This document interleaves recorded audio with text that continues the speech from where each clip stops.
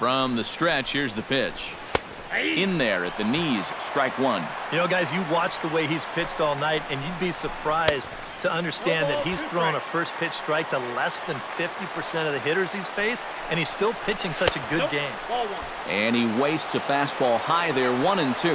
Well, I, I think that fastball is just for show there. He's not trying to throw this for a strike. Throw to first will get him easily, and the side is retired. One left for Seattle. They trail this one one to nothing.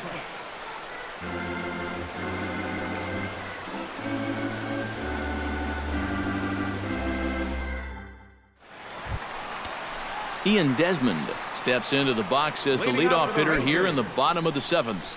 Well, you know, he's been on base twice in this one already, so let's see if he can do it again.